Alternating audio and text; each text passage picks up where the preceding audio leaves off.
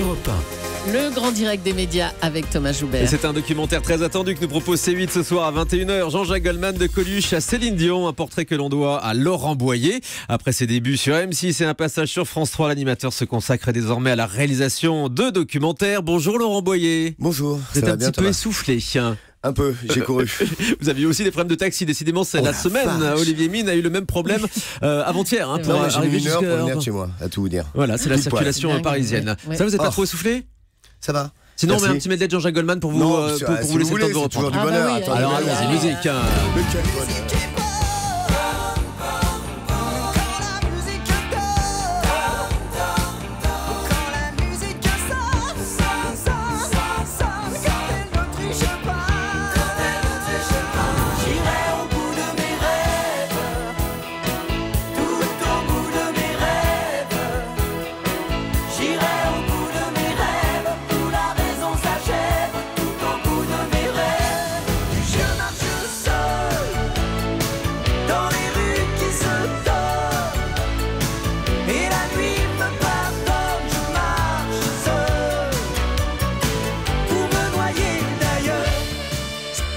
C'est fou parce qu'on s'en lasse pas de ces chansons, euh, Laurent Ah, Boyer. oui. Ça reste des tubes incroyables qu'on euh, a toujours envie d'écouter.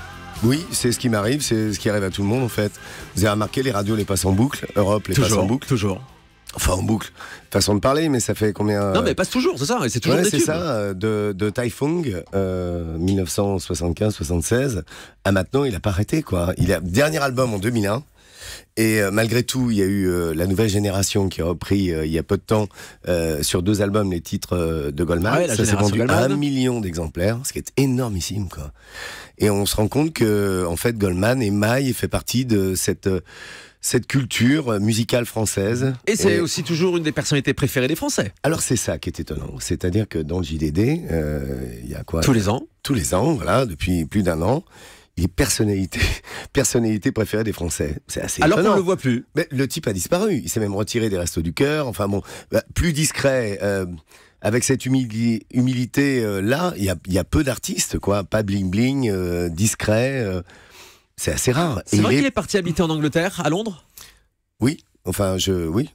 Oui, oui, sûrement. Enfin, si vous le dites, moi, je vous crois. Non, non, Non, mais mais vous, vous êtes rentré en contact avec lui euh, Euh, oui, av- oui, avant de faire ce on- documentaire Oui, oui, mais on- je, je- voilà, je, je, je parle pas de sa vie personnelle ni rien. euh, voilà. Alors Oui, vous, êtes il est entré en contact, vous êtes rentré en contact avec lui, mais il n'apparaît pas hein, dans le documentaire parce qu'il Mm. refuse toujours systématiquement les interviews. Absolument. Oui, oui, absolument. Non, il a pas envie de, il a pas envie de, de paraître. là. Je crois que c'est la dernière fois où il est paru dans une émission, c'était, bah, c'est l'extrait que j'ai mis d'ailleurs dans l'émission pour le petit journal. Exactement, avec Eric et. Quentin. Ouais. Ouais, ouais. Bah, c'était formidable. La réponse à euh, euh, cette polémique qui a eu. C'était très euh, bien senti sur une oui, chanson des enfoirés. C'était remarquable. Pourquoi- la réponse a été remarquable. Pourquoi il ne vient plus à la télévision? Il venait auparavant dans vos émissions. Ah, j'ai fait beaucoup de fréquences stars avec lui, ouais. C'est un endroit où il venait parler, d'ailleurs, je, je les utilise beaucoup, avec des inédits et beaucoup d'inédits. Euh, je sais pas, il a arrêté en 2001, et j'ai fait un- le dernier fréquence star en 2001, d'ailleurs, pour son dernier album, sa dernière tournée. Et depuis, c'est vrai qu'il n'a accordé depuis, aucune interview. Non, non, pas d'interview, pas de, pas d'entretien euh, en longueur. Euh, C'est vrai, on voit beaucoup d'extraits de vos anciennes émissions. C'est-à-dire Ouais. que vous avez gardé euh, les droits, ça, ça appartient pas à M6, ces images de Fréquence Star? Euh, ça appartient à M6 maintenant, oui. D'accord, donc vous avez Je suis dû, euh, toujours auteur de tout, uh-huh. mais euh, ça appartient à M6, ouais, absolument. donc vous avez dû racheter, euh, j'imagine, les, droits pour qu'on voit ça, Ouais, pour ça ce soir. J'avais laissé une partie de la boîte qui, les, qui les produisait à M6. Dans le documentaire de ce soir, Laurent Boyer, on vous entend, mais on ne vous voit pas. Ça ne vous manque pas de ne plus faire d'antenne? Non. Non. Pourtant, Pas quand on est animateur, on a une certaine addiction à l'antenne. On a Mais tout le temps fait- peur que ça Vous savez s'arrête. quoi En juin, euh, là, au mois de juin, dans peu de temps, donc, ça fera 30 ans que je fais de la télé. De En même temps que les débuts 35 ans. d'M6. Mhm. C'est ça. C'est pour ça que, voilà, on a fêté, euh, on a fêté le, voilà, les 30 ans d'M6. J'étais au, bah, aux 20 ans, 25 ans, 30 ans. Je suis toujours euh, proche de cette chaîne. Euh, voilà. J'ai Ouais, c'est fait ça vous a 23 fait ans un, de carrière. un- un petit pincement au cœur de participer à cette émission anniversaire qu'on verra la semaine prochaine, les 30 ans d'M6 Non, non, non, non, non. Je fais partie d'une émission qui est un peu différente, euh, qu'on verra un peu plus tard. Euh, il y aura un scène de ménage un peu particulier. Avec des guests, hein, vous jouerez Voilà. dedans. Et euh, voilà. Et je serai dans ce, dans ce spécial scène de ménage. Voilà. Bientôt. J'ai pas la date de diff ni rien. Vous imaginez bien qu'on me la donne pas. Donc, je Mais ce moi. sera bientôt. Voilà. Dans tous les cas, j'ai tourné. Oui, je l'ai fait. Et Mais- ça m'a beaucoup amusé d'ailleurs. Mais rétrospectivement, vous n'avez pas fait une, grosse erreur en quittant M6 pour France 3, Laurent Boyer? Hum, non, parce que j'ai adoré ce que j'ai fait à France 3, Midi en France. Euh, je l'ai créé, on l'a créé.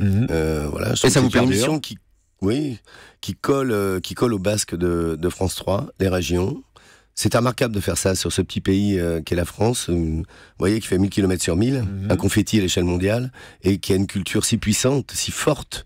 Euh, L'artisanat français, je vous parle pas évidemment des, des trois mers qui l'abordent, des, des, des trois massifs montagneux, anciens, moyens et, et, Ouais, il y a beaucoup de choses à découvrir. C'est extraordinaire. il a fallu s'accrocher pour faire cette émission aussi. Oui, c'est fatigant. J'ai fait 4 ans et demi, j'en pouvais plus. Ouais. Donc euh, voilà. Ce que vous 4 aimiez moins, euh, tout- toutes les semaines, été, euh, été, hiver, enfin tout le temps quoi. ce que vous aimiez moins peut-être sur France 3, c'était la patronne des programmes?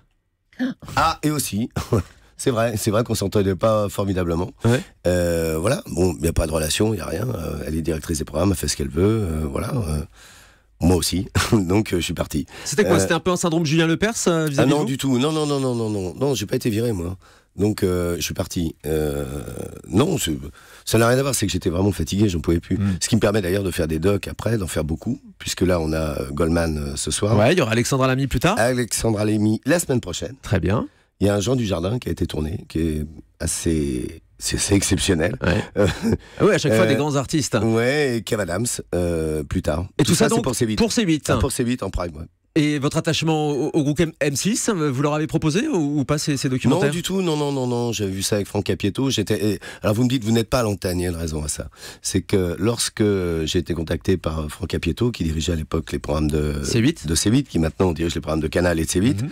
Euh, euh, il se trouve que euh, il avait besoin d'artistes vivants euh, sur sa chaîne et que par antériorité évidemment et par filiation les artistes je les connais bien depuis un bon moment 30 ans donc et euh, je lui ai dit écoute oui je peux trouver une idée mais je suis sur France 3 je je peux pas apparaître sur une autre chaîne et j'ai trouvé cette idée de ma vie en super vite où je suis off C'est ça, et faire du documentaire. donc. voilà et à partir du moment où ça a fonctionné il m'en a recommandé d'autres enfin la chaîne m'en a recommandé d'autres voilà, euh, Julien Lalonde et Alexandre Israël, euh, qui je m'entends très bien. C'est marrant, j'ai l'impression de retrouver sur cette chaîne euh, l'énergie qu'il y avait sur M6 à ses Ah oui. débuts. Oui, c'est des gens qui sont extrêmement volontaires, très précis, Mhm. qui savent ce qu'ils veulent. Euh, c'est assez surprenant, ils sont Et euh, présenter une émission sur C8, du coup, ça pourrait vous Non, intéresser maintenant que vous êtes libre de tous engagements avec France 3 peut-être un de ces quatre. Oui, c'est pas, on n'est pas à l'abri. La porte n'est pas fermée. Laurent Boyer est avec nous ce matin sur hein. Europe 1. Avec plaisir, en priorité, toujours sur Europe 1 dans cette émission. Dans un instant, on va retrouver Christine Bérou pour Fête la Terre. A tout de suite.